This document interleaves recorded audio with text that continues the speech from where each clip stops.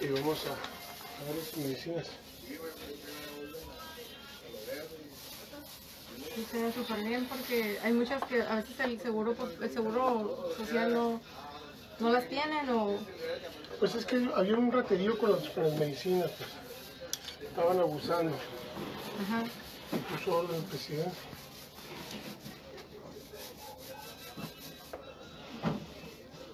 Por ejemplo, en mi caso, yo pues, tengo que ver a un médico reumatólogo.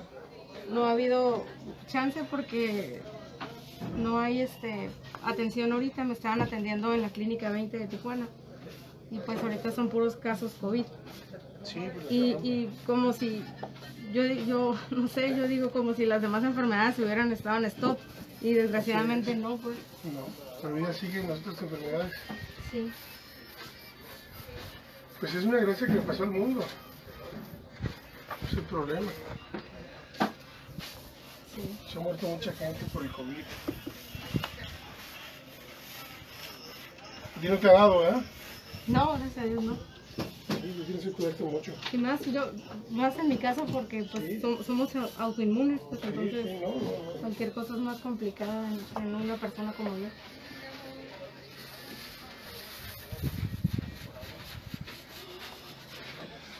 Cuando yo estaba, estuve internada en, en febrero, no, todavía no decían muy bien lo del COVID. Todavía no estaba. No, o sea, cuando me dieron de alta, como en marzo, ya fue cuando ya se supo un poco más. Sí, pues ya se sabía, pero todavía no se tenía claro cómo se iba a enfrentar la pandemia, ¿no? Sí.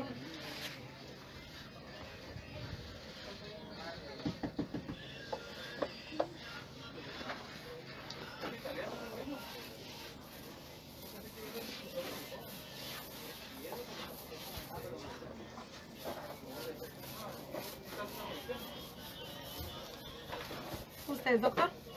No, yo soy abogado, pero me dice el doctor porque soy un doctorado pero en Derecho. Ah, ok.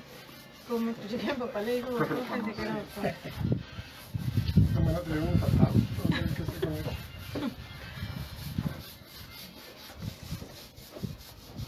Una consulta ahorita. Sí.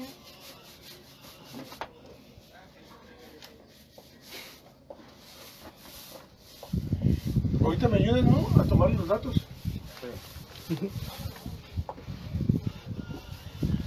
Luego, luego, para que cuando vengan las medicinas cheque.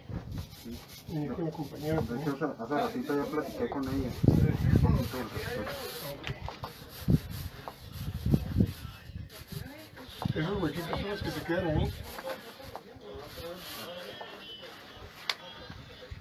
Y a su papá lo vamos a incorporar al programa. 何?